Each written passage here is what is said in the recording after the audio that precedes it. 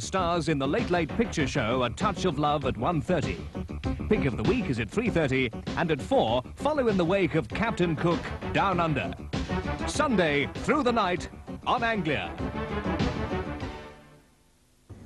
Well, now on Anglia, we continue your Sunday night viewing with the South Bank Show, introduced by Melvin Bragg.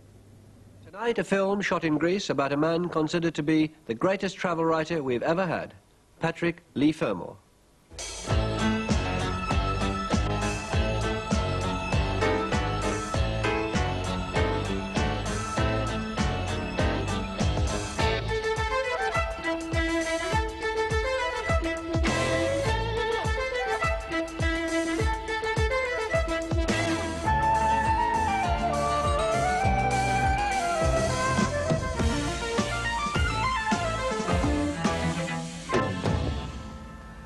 Patrick Leigh Fermor belongs to the English tradition of the splendidly gifted amateur.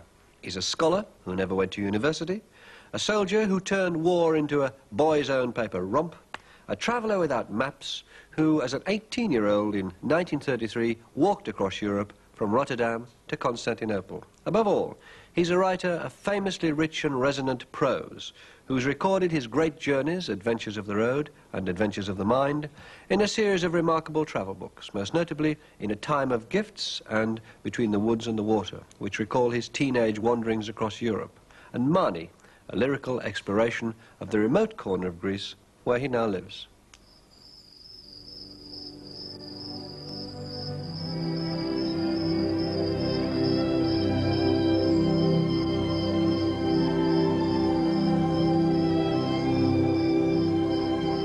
Patrick Leigh Fermor wandered into the desolate but beautiful country of the Mani on the southernmost tip of Greece more than 30 years ago and fell in love with it.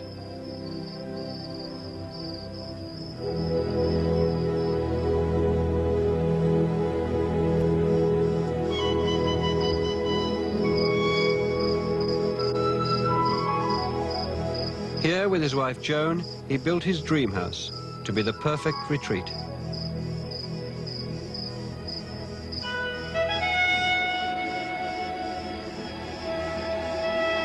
It's both a fortress against the modern world and a celebration of everything Greek. From the halls of Plato and Aristotle to the Cretan shepherds who fought by his side in World War II.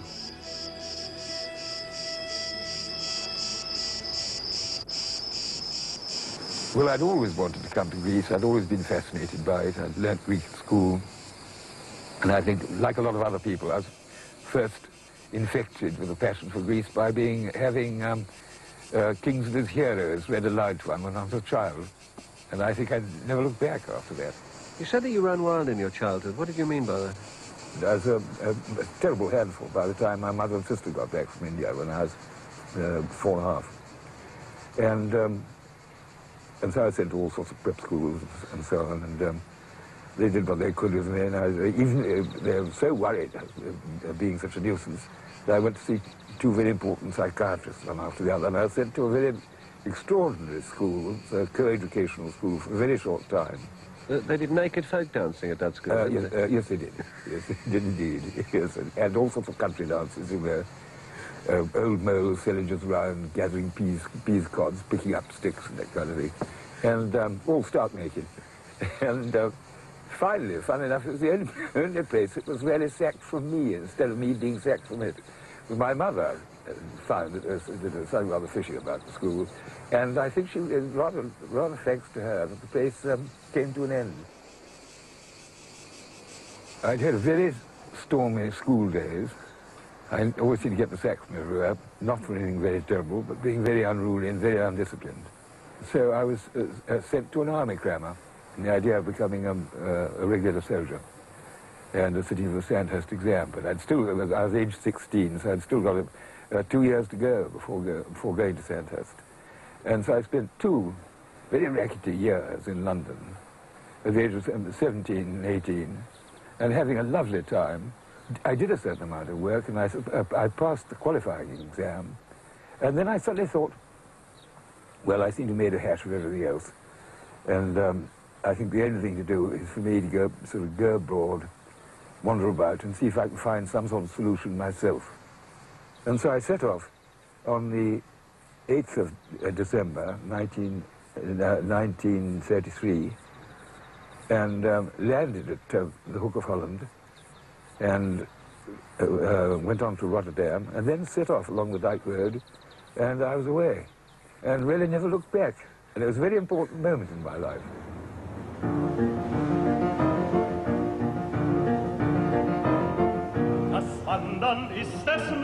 Müllers Lust, das Wandern. Das Wandern ist des Müllers das Wandern. The siren of a barge unloosed a long echo, and the road, scanned by brief halts, brought me into Bingen at dusk. The only customer, I unslung my rucksack in a little Gasthof.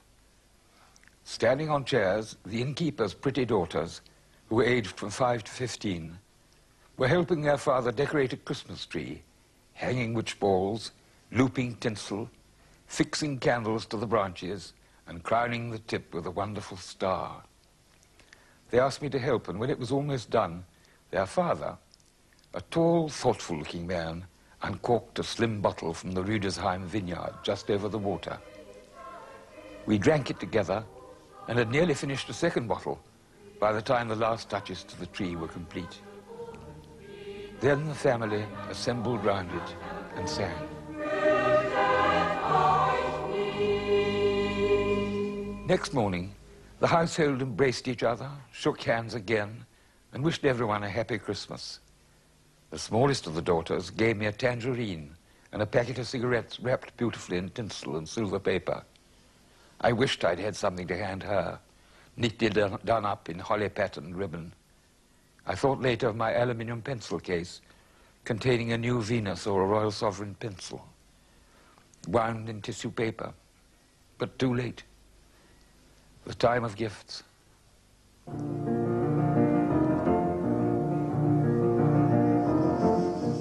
I borrowed a rucksack of a friend of mine, and I put in far too much. It's, a big, heavy sleeping bag, one of the silliest things I, I take with me. And um, I took far too many clothes, and um, lots of writing materials. Um, but the whole lot, I got lost the whole lot in, in Munich. Um, the whole lot was pinched, and it really was a, rather a blessing. And I went to stay with some very nice white Russians just outside Munich that I got a letter of introduction to. And um, when I told them about this, which I rather rather rashly did, that I the night before I lo lost everything, I turned to sort of joke. They took it frightfully seriously, dashed up to the attic, dug out um, uh, dug out a new rucksack, an old rucksack, and filled it with everything that I could possibly need. But it was much lighter than before, and so it was a great blessing, this guise. Except the only thing was uh, that I had lost lost my diary, which which I'd kept from um, the Hook of Holland to Munich. One of the things that strikes me about your work, just one of them, is the extraordinary detail. I mean, people don't pull out a handkerchief, they pull out a clean blue handkerchief. The shade is described, the direction it comes from, the slats of the sun. The detail is uh, very, very convincing um, and very particular all the time. Does this come from notes that you made at the time or from recollection? I have got a very strong visual memory. I think, I mean, I do largely seem to live, live through my eyes, as it were uh, observing things, and um, and the, the, the memories do remain pretty clear and intact on the whole.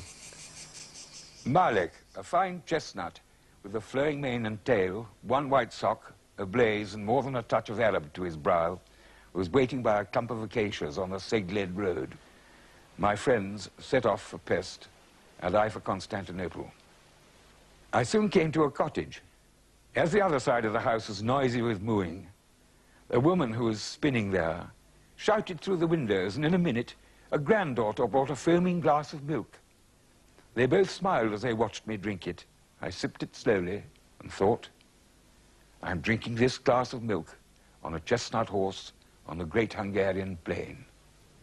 Twenty years passed before Leigh Fermor wrote any of it down, and when he did, he was embraced by a famous name in publishing. What I first thought of him, um, he was a character I've never quite ever seen the like before. Uh, there was a marvelous ebullience um, after the first glass of claret he was even more ebullient. And he could quote almost anything he wanted to know. I mean, Shakespeare, he could quote in several languages. And his width of knowledge, which in view of the fact that he'd been sacked from his private school, uh, was perhaps extraordinary.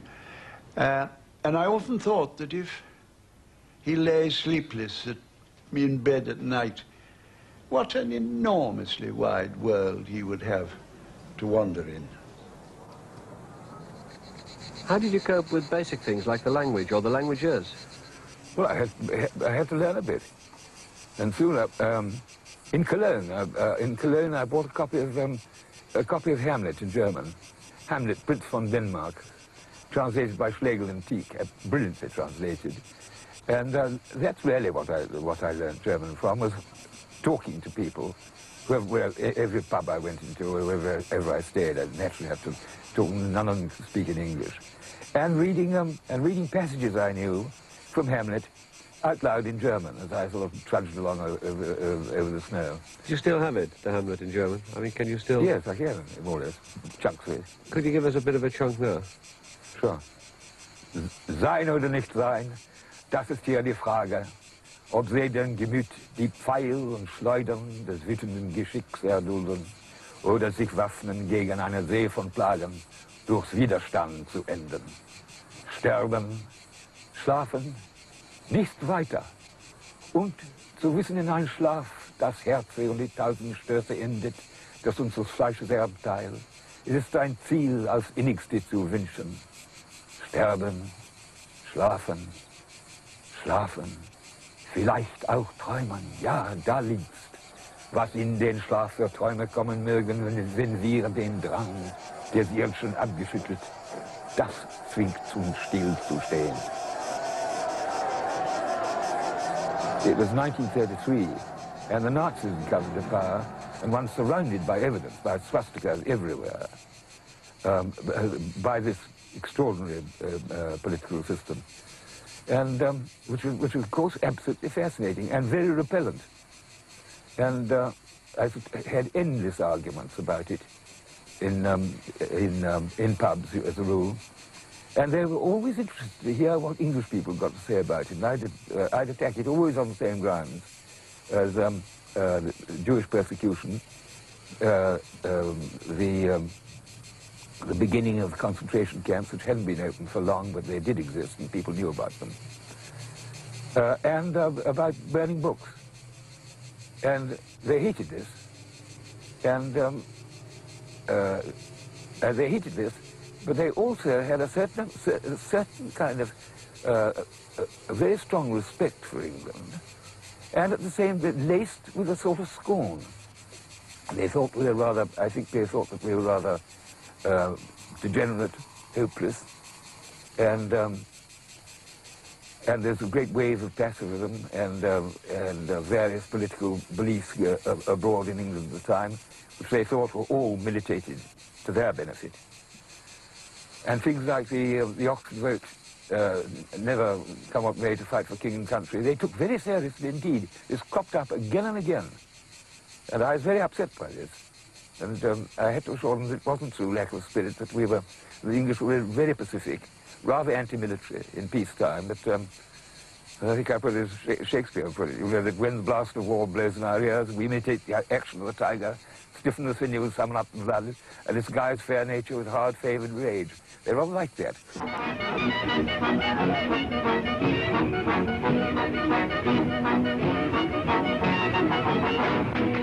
Leigh Fermor's walk through Germany took him from beer hall festivity to lonely roads and days of solitude. I love being on my own. I've very much enjoyed company too. But um, I, I loved, uh, I loved um, uh, changing really and getting, suddenly getting away from everything and being on my own. And I was quite happy walking for days and days in woods and forests or across plains. And I'd spend most of the time then um, uh, either singing, I sort of very, very fond songs, and I uh, already knew lots. And I sort of picked up an, any number on the way various, various languages. And I was, of course, singing them. And when I wasn't doing this, I was reciting, and quite often reciting out loud. which gave, gave people rather a turn. It was suddenly turned a, turned a corner. And um, of course, one they thought I was a madman. I, I ran into an old woman with a bundle of sticks once, and she simply dropped them with a terrific clatter, took to her heels. I wished I was dead. O wandern, wandern, meine Lust, o wandern. Now his path took him through the Balkans and south towards Turkey and Journey's End. I determined uh, when I set out to go to Constantinople and then to go to Greece and find out both about Byzantium and uh, about ancient Greece as much as I could. I had a very extraordinary period. I borrowed a horse again and accompanied a, a, a Greek revolution uh, through Thrace and Macedonia uh, for, for a, a, week or two. Uh, somebody lent me a horse, and uh, I attached myself to, um, uh, to a Greek cavalry squadron and uh, went all over the place with no political feelings whatever, sort of observer. It was the first glimpse of warfare. And it wasn't, thank heavens, it wasn't a very bloodthirsty or serious one. And um, after that, I get, handed the horse in again. And this is in the Chalkidiki Peninsula, just east of Salonika. And from there I, there I set off uh, into the, of towards the Pindus Mountains, and then down the central spine of Greece, until finally I got to Athens. And uh, uh, got to Athens in May 19, 1935. And there, a whole new life began. I made a lot of, enormous amount of Greek friends. I got very sentimentally involved with somebody, in fact. And this romantic involvement took me um, to, to Romania uh, that winter. And I was off and on in Romania a lot until the war broke out. In immer neuen Wellen schaffen die Maschinen Kompanie nach Kompanie der Fallschirmjäger heran.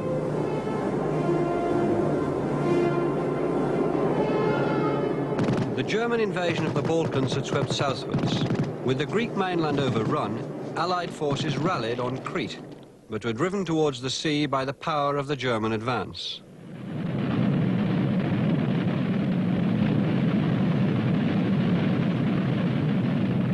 Leigh Fermor, who had been assigned to intelligence because of his fluent Greek, was caught up in the retreat from the very beginning.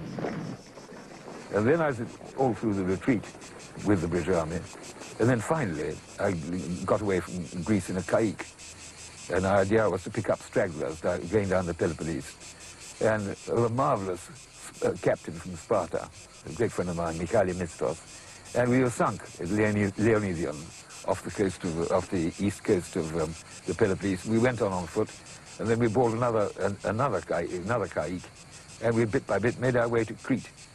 And we uh, we uh, we changed ships three times, quite a lot of us, about a hundred, got to Crete, and um, and then I was in there during the during the Battle of Crete, and where they again surprised, the Cretans again, the Greeks again surprised one by fighting so well.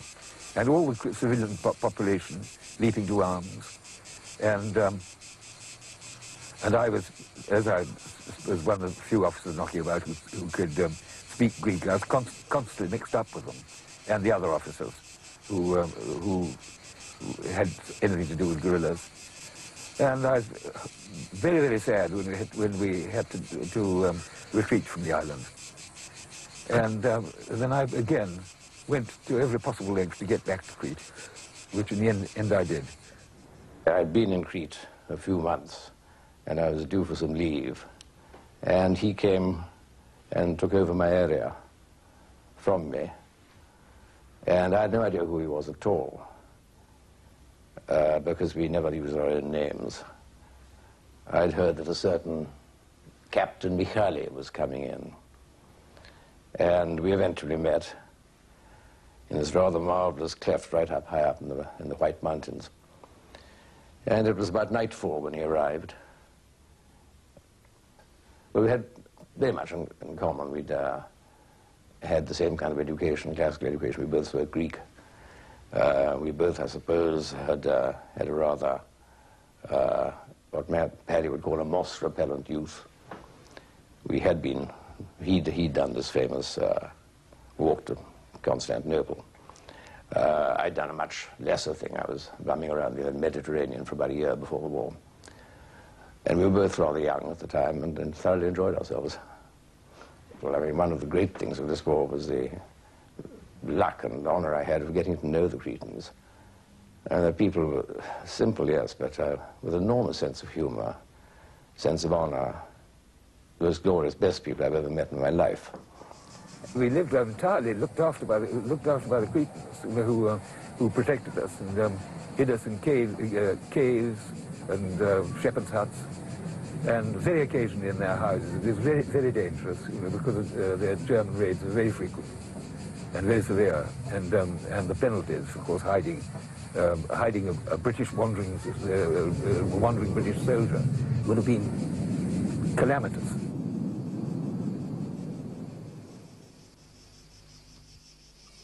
The Cretans who fought at Leigh Fermor were remarkably brave and resourceful. None more so than George Psychoundakis, the shepherd who was to become a lifelong friend and fellow author. Eh, he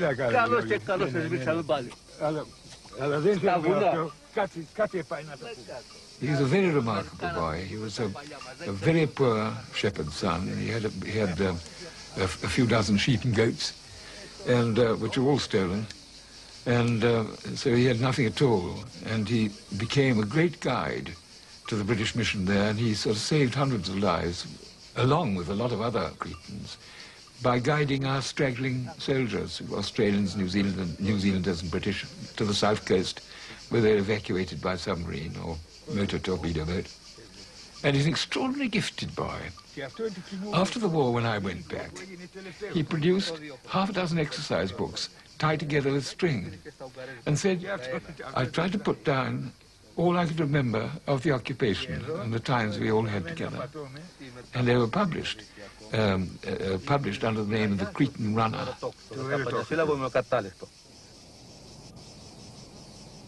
We lived entirely up in the woods and um, in the in the caves with shepherds and goat herds and, um, and we, we always had friends in the villages below, and when there was a, a German raid impending, there'd always be some uh, old girl down in the village who'd rush out and put a, put a coloured blanket on a threshing floor, which we'd be able to see from below. It'd be a danger signal. And so we'd do a bunk and um, go move along the flank of the mountains and shift into a different cave. But the, the landscape played, played a, was, played an absolute tyrannical role on all our activities. We walked thousands of miles, I suppose, over these terrific mountain ranges.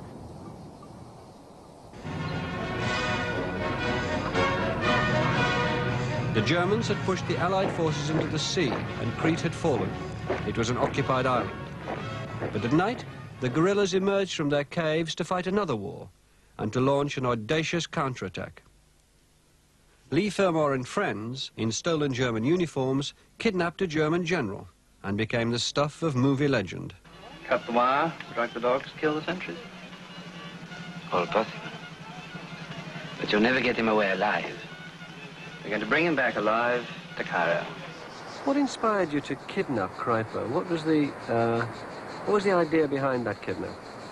It's to strike a blow, strike a blow against the against the Germans, um, without shedding a, a, drop of German blood is the plan. Unfortunately, one there, there was the, um, the, the driver, the general driver was a casualty, but otherwise, not a drop of German blood was shed. It was all done by stealth and planning and speed.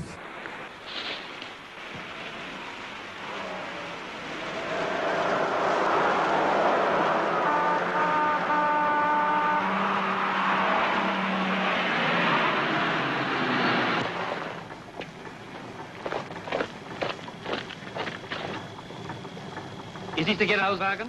Yeah, yeah. Weiter, weiter, weiter. Come on! Himmel, Herrgott! But we had very bad luck in the end. We couldn't get away quickly from the southern, southern point of Crete we meant to. There was a huge hue and cry, and suddenly it filled up with Germans, not because of us, but because of some arms that had been landed there several months before. It was a real stroke of bad luck. And so we had to turn, turn off uh, westward through the mountains, Aubrey, the party that captured the, captured the general, and with the general himself, until finally we could find a beach uh, free, uh, a place free of Germans and, um, and get a wireless message through to Cairo. And finally we did. After three weeks, we were met and got the, uh, and, uh, got the general on board and away to Matruh. About three days after, uh, uh, after we'd captured him, right up at the top of Mount Ida in a, in a cave, we both discovered that we got, we got um, uh, that we got the same passion for classical literature, and that was a great bond between us. One morning we were looking across the Amari Valley, and there was the top of Mount Ida, covered with snow, and he murmured uh, to himself uh, the beginning of the ninth ode in the first book of Horace, Vides ut altas det nive candidum soracte, Si Soracte's mighty peak is white with snow. And by a stro marvellous stroke of luck, it's one of the very few poems of Horace that I know by heart. So I was able to go on, neciam susteniant onos, suve laborantes geluque flumina constituerint acuto. And he looked very surprised, and his blue eyes gazed at me. And then he said, Ach so, Herr Major. And I said, yeah, Herr General.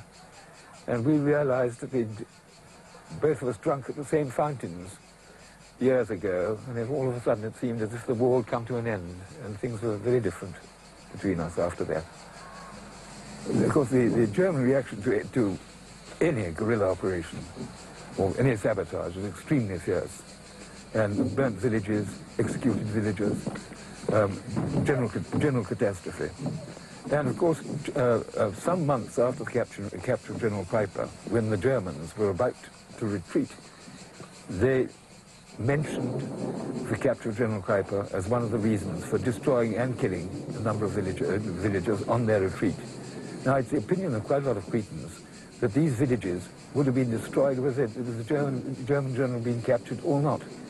And, of course, they exploited this in order to try and set the, uh, set the, the Cretans and the English against each other, but they totally failed.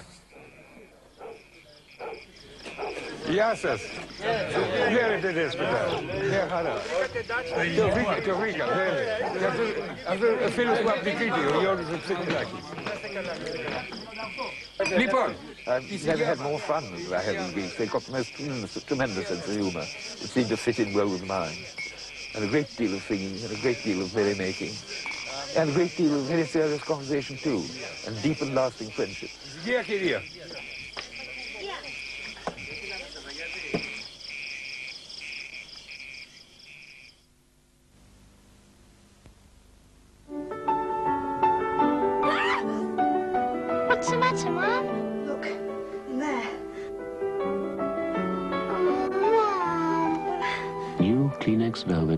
Tissue. Now even more velvety soft. Don't hurt it.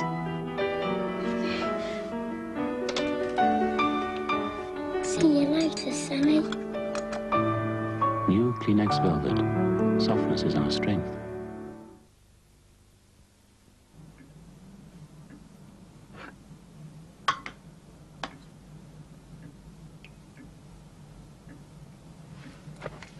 I'm sorry, Janet, about what I said. Don't be so stupid. Blame me instead. No, it's not your fault. I lost my head. Do you still love me? Pass me the bread. A real Italian meal needs a real Italian pasta sauce. Ragu, based on an authentic family recipe for 50 years. Janet, oh, Janet, oh, Janet, oh, Janet, oh, Janet, oh, Janet. Oh, oh. Ragu. It brings out the Italian in you.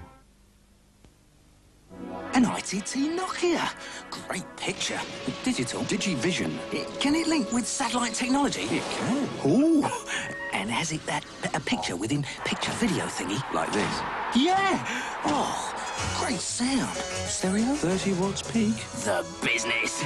So that's why you bought one of these? No. I bought it because it's a good-looking box. Oh, yeah. ITT Nokia. The future is looking good.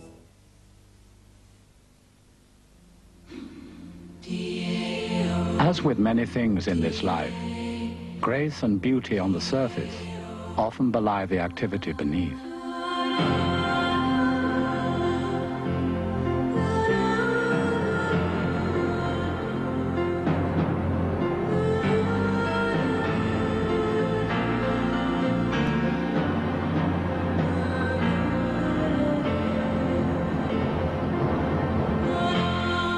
1989 Vauxhall Senator, engineered for unrough.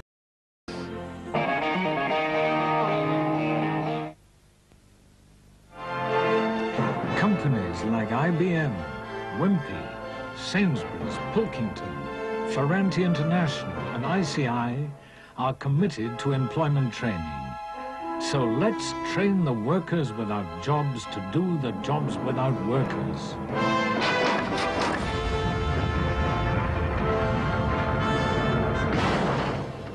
For details, phone 0800 24 6000.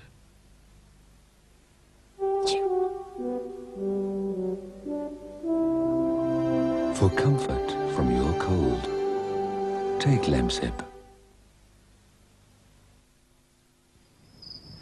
The air in Greece isn't merely a negative void between solids. The sea itself, the houses and rocks and trees on which it presses like a jelly mold, are embedded in it.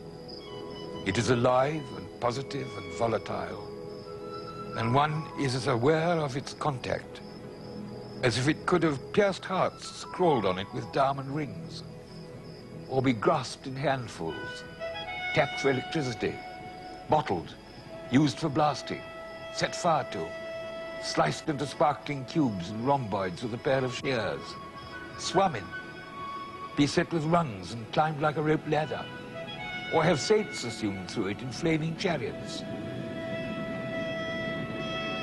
It's no wonder that the Greek word for wind, anemos, should have produced the Latin word anima, for soul.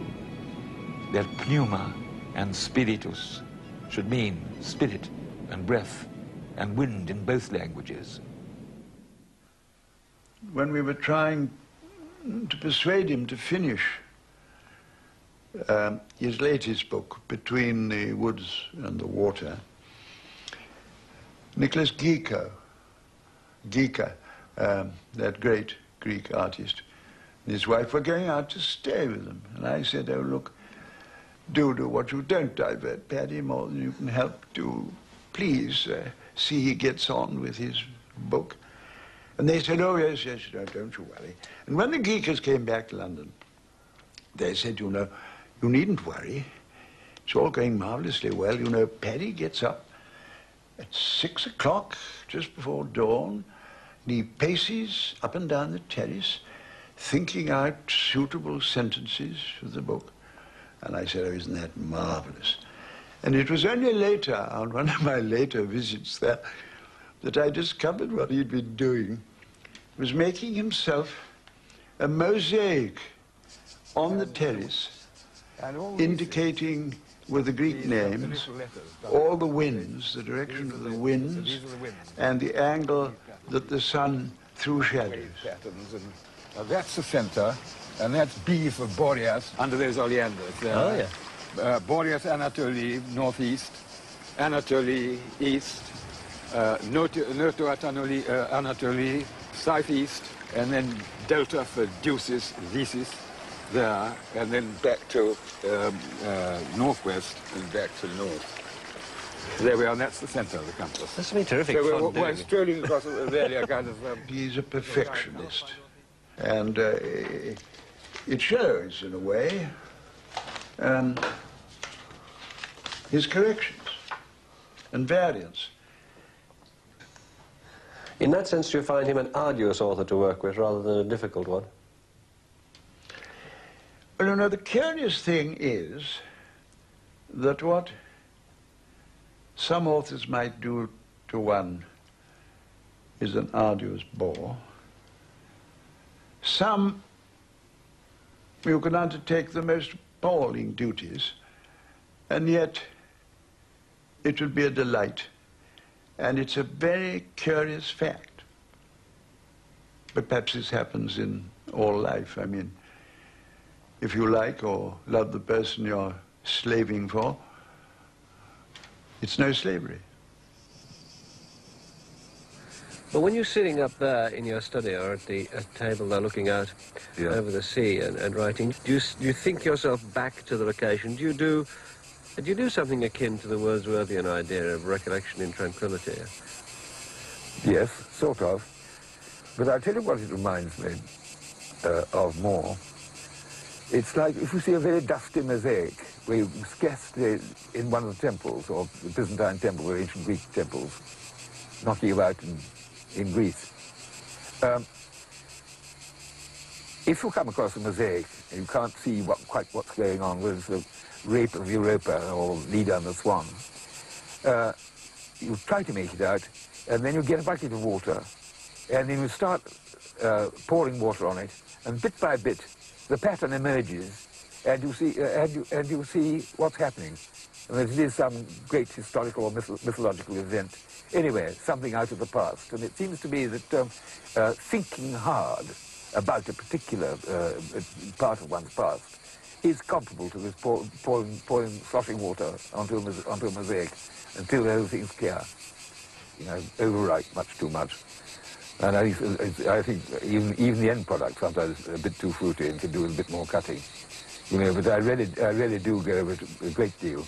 And I'm nev never at all con content with the, with the results. I always feel like I should have done better. You load the sentences very richly. Uh, you like uh, lists, uh, uh fresh words, um, recondite vocabularies, uh, Latinate constructions of sentences, and so on. Um, that's your style. Uh, do you feel that you're particularly influenced in this by any one or two writers, or is it something that it's evolved and it's yours and that's that? I think that the Latinate construction of sentences, I think it probably does come down directly from having to slog away at, uh, at Latin so much at school, Latin prose and so on. One had to do so much of them, which I always loved anyway. But on the whole, I try to uh, try to keep the balance between Latin and Saxon uh, tilted, tilted towards the Saxon side. It seems to me that if you go uh, ballooning away with enormous great Ciceronian rotundities, the whole the sense seems to float away, float away and evaporate somehow, and has to be pegged down with um, short Anglo-Saxon words of one syllable. Crete smoulders on sea, halfway to Africa, solitary phoenix of the Aegean brood. Songs, shouts, echo in a lunar wilderness where blood flowers on the knuckles of the mountains. High in the ilex woods, the black riflemen stalk, waking the din of bells. Their jangling shots uncoil interminable echoes. Here, the hands of friends grasp yours forever. He has a marvelous rhythm to his writing. And he's always, he, he's always taught me, he says, and do remember there are three things about writing.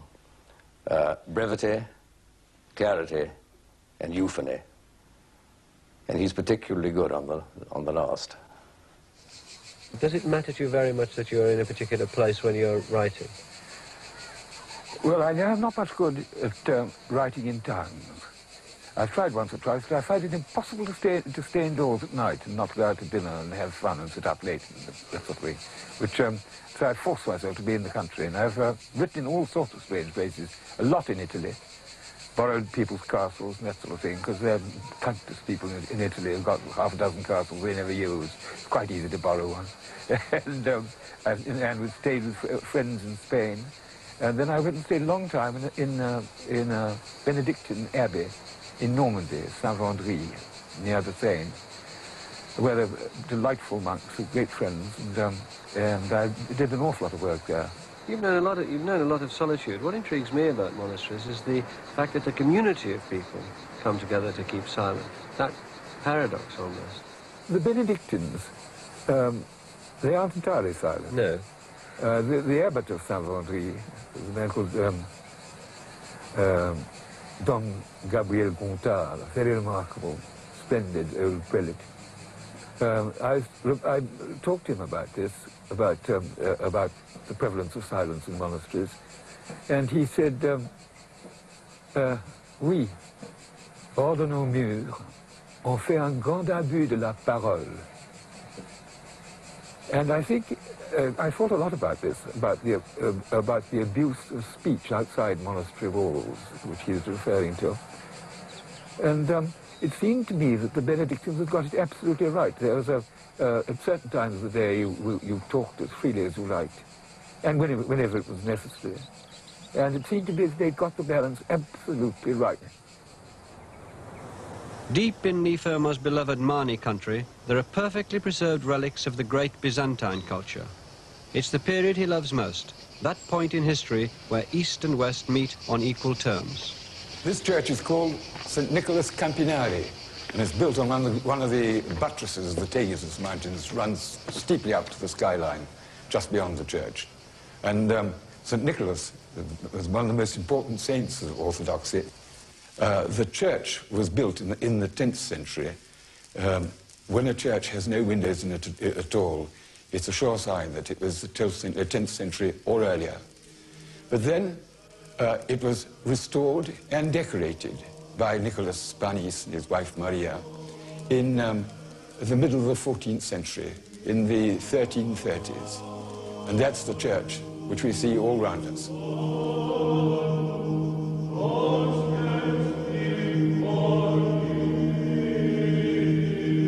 The, painters, the painter of this church, the main painter, wasn't at all a rustic painter. He was a very sophisticated fellow, very much of the um, school of, of Mistra, which, which was uh, thriving about three mountain ranges away to the north at the moment, which is one of the great, great glories of the Greek Orthodox world, as we all know. And then there are other incidents from, from history, Last Supper, Jacob's Ladder, the baptism there, and then which leads us where the high altar is.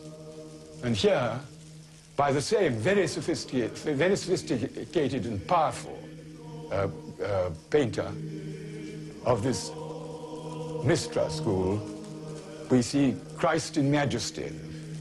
Uh, Christ Pantocrator, the all-powerful one, is written beside his throne. There he sits with his Bible in his hand, uh, gazing out into eternity.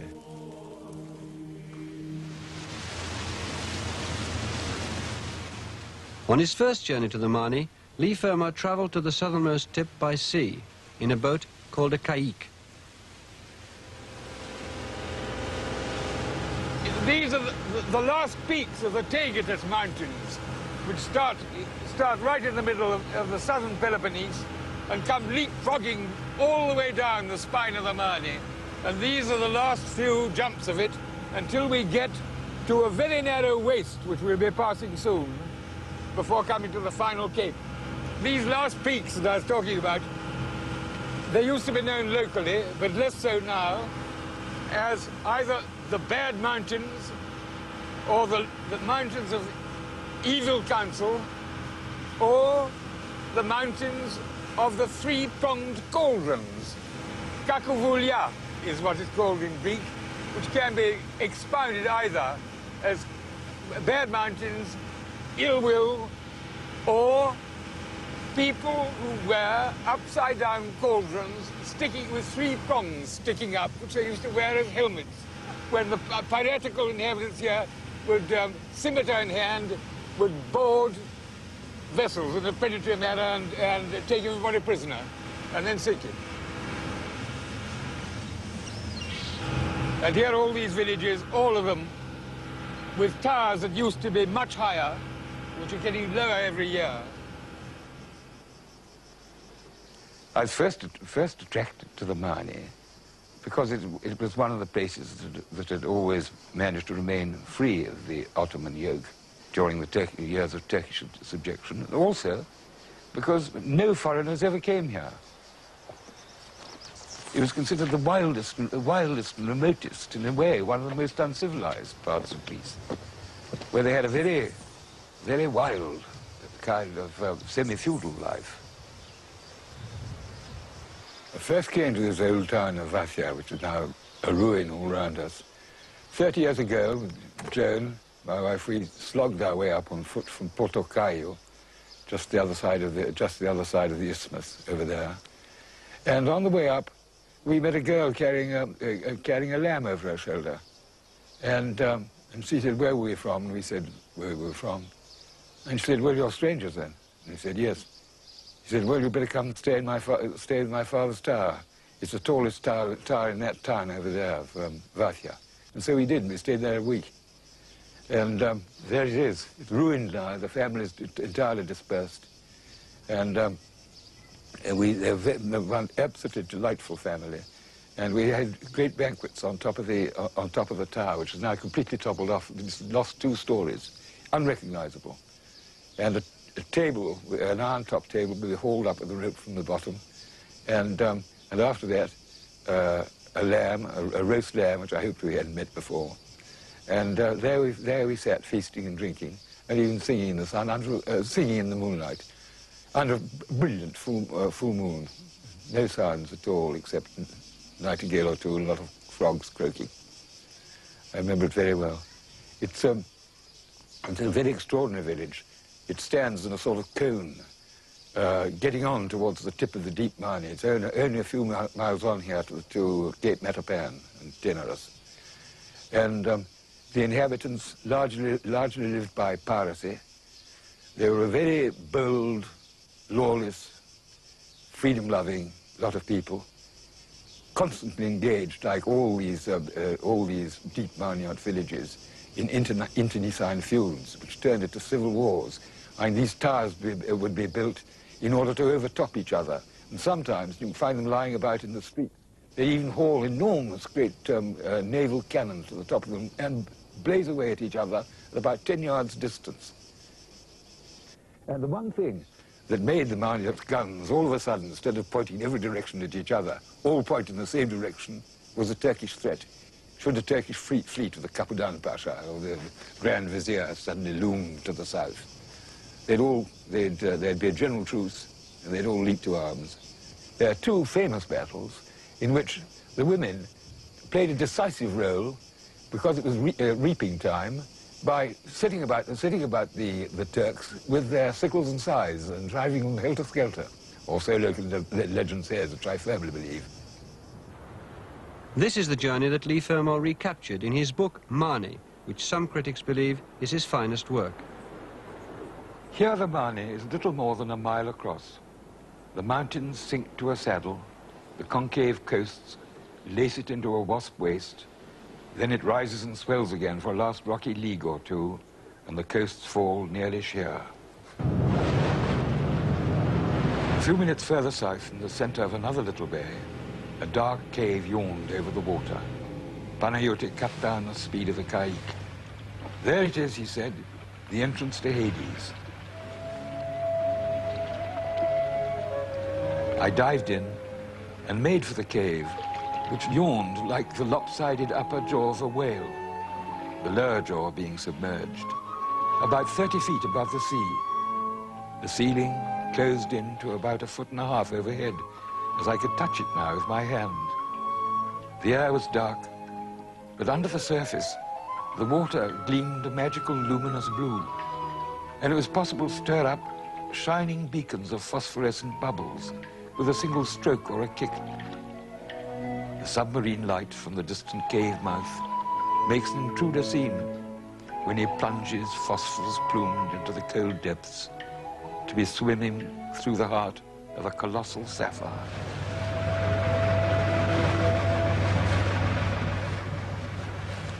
The summit of the peninsula sank steadily as we followed our southward course. At last the trim lighthouse of Matapan appeared and the rocks fell steeply to the cape. At the very moment we reached it, the engine spluttered and seemed on the point of extinction. But the kite sailed slowly past, and leaning over the edge, it was possible to touch the last sharp edge of rock where it met the water.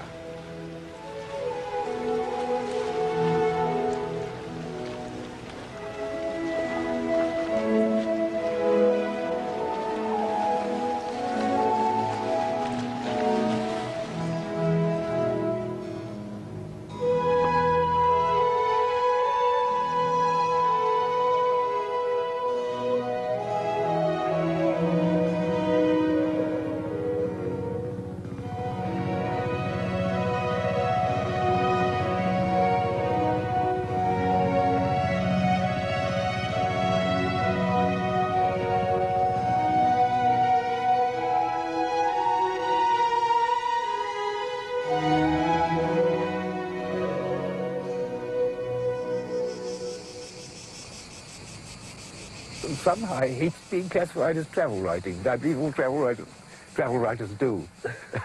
I don't know why, but I, and I, I hate being um, uh, labelled as a travel writer because I like people uh, think of myself as, as a writer, I suppose, confronted by various things and writing about them, you know, either sitting down or travelling about. I, I hate the idea of travelling, uh, travelling for writing's sake, is what I mean. You wrote the book, The Mani, about, uh, about 30 years ago.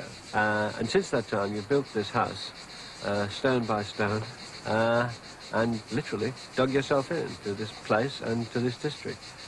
How has it changed over that time? Well, it's changed mostly because, uh, because of the um, explosion of tourism, really. Um, when, uh, when, when I first came here, I mean, a lot of people had never seen a foreigner in their li lives before. And I remember a, a, a, small, a small girl being lifted up to the window of the bus that we were both in, and, uh, and the, the, child's mother saying, do forgive me, so, uh, but my child's never seen a foreigner before, and nor have I. and, and, and, um, and I said, I'm awfully sorry, and slipped off. We're in an extraordinary place because behind us the Aegean and the Ionian seas meet uh, and history has stormed across these uh, hills century after century. It's one of the reasons you like it because it fulfills your historical imagination and because it makes vivid to you a great deal of the things that you uh, enjoy thinking about and discovering. I'd always had a passion for history. And, uh, I, and I, uh, history and the ancient world, uh, Latin and Greek. Uh, Greek I not, I'm not nearly as good as I should have been because, because of um, uh, my education was untimely cut off. And, um, but otherwise, I, I was quite considered quite good at it as far as I got. But I always loved history, anything to do with, uh, with history, religion, folklore, uh, uh, famous characters, different countries, tribal movements, invasions, and always very pictorially. And I always, uh, I'm, I'm no good at remembering dates in a kind of tabulated form, but if I remember what people looked like, if they're wearing, what kind of mitre a bishop was wearing, or whether a person was wearing um, a ruff or a, or a lot of lace tumbling down, down, down the front of his coat, or a breastplate, or a coat of arms, and that had placed him once within about 50 years. It's a very visual memory, and it's very useful we got hold of um, this bit of uh, uh, this bit of land here, which was then complete, completely wild and um, a wild olive grove with um, nothing but asphodels and one or two tortoises clanking about, and um, and we got hold of it uh, for almost nothing because it was uh, quite soon after the war, and built the house, and here, here I've been ever since, and it's been very propitious for writing. We both did it together. And neither of us knew, knew an awful lot about architecture, but we got books about it, Vitruvius and Palladio and sort of thing, mugged them up. And we both, both of us um, lived in tents here, so not a single stone was put in place without one of us being here. Where did the patterning come from? What's? Well, the patterning came uh, from, uh, these were taken from, uh, from uh, the excavations of Olynthus in the Chalcidice Peninsula and um, with uh, patterns of interlocking vine, uh, vine shoots, that sort of thing, and cables, and uh, different colored pebbles.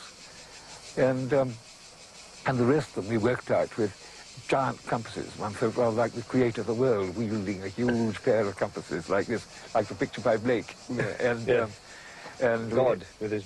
Exactly. Yeah. And, um, and we had a lovely time doing that.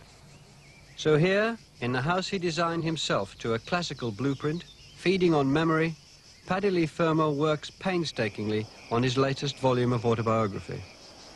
Do you think you've written a book that you'd really like to write? Well, I've enjoyed writing them all. I find terrible sweat, very, very hard work. But I love it. But, um, uh, but no, I, um, I've, I've, there's no book I'm absolutely pleased with. Can you imagine writing a book that you'll be pleased with? Oh, yes. it's, a, in, in certain dreamy moments.